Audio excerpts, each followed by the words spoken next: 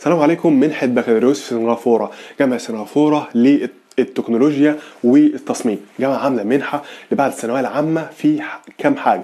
أول حاجة العلوم الاجتماعية والتصميم بعد كده آه، العلوم بتاعة الذكاء الصناعي والعلوم بالإضافة للفنون. خمس حاجات دولت. وتراجع معايا برضك في ال- الرابط اللي تحت الفيديو. بعد كده مش مطلوب من حضرتك إلا إن يجي لك قبول في الجامعة بالإضافة لخطاب دافع خطاب خطابات توصية بتاعتك خطاب شخصي. كمان تجيب خطاب أو شهادة بالآيلتس إن وجدت شهادة بالسات إن وجدت. كاتبين كده يا جماعة إن وجدت.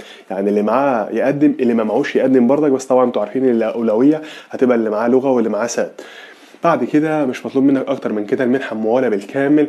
تكاليف معيشة سواء آه، آه، سواء تأمين صحي أو آه، مرتب شهري أو آه، إقامة ليك. بالإضافة طبعا لتكاليف الدراسة.